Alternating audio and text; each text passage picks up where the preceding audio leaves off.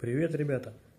Еще в марте месяце э, Дима на обзор прислал вот такие вот полнотелки. Э, скажем так, пробная версия от э, подписчика, от зрителя. Но по непонятному течению обстоятельств я так и не смог их отстрелять. Дима, ты не обижайся, но они пока лежат, вот они, все в целости и сохранности, я их никуда не дел. По возможности все это дело отстреляю. Значит, здесь 4 вида пуль. Э, все 4 вида будут протестированы, как они летают. Э, скорости буду ставить как Юра Arrows.